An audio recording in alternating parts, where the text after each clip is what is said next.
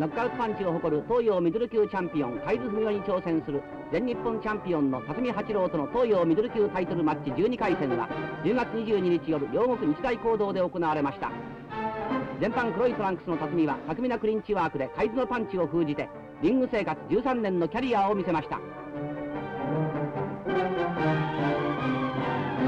第4ラウンド海津はジャブからストレートアッパーフックと多彩な攻撃を見せ辰巳をロープに追い詰めポイントを上げました。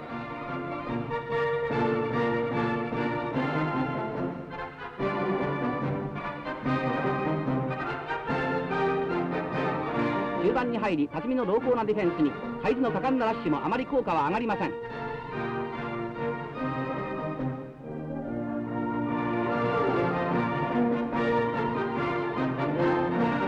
後半に入り若さに勝る海津はストレートフックを辰巳に連打。しかし辰巳も負けずに全力を振り絞って左右のロングフックを放ちます。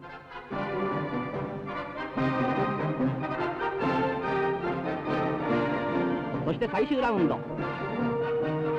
力と技のリング上の熱戦もついにゴング。